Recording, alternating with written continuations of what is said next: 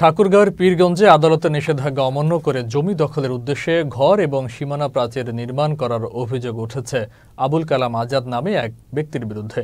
ভুক্তভোগী সাবেক UP chairman Shams Raihan Chowdhury Rana জানান, প্রায় পঁয়তাল্লিশ বছর আগে পীরগঞ্জ পৌর শহরের মিত্রবাটি মহল্লায় সাড়ে দশ শতক জমি ক্রয় করেন তার পিতা আব্দুর রহমান চৌধুরী।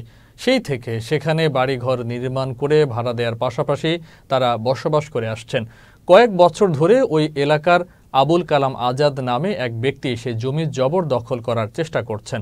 এ নিয়ে আদালতে মামলা হলেও নিষেধাজ্ঞা অমান্য করে রোববার আজাদ জমি দখলে নিতে টিনের ঘর তুলেছেন এবং সোমবার সীমানা প্রাচীর নির্মাণ শুরু করেছে।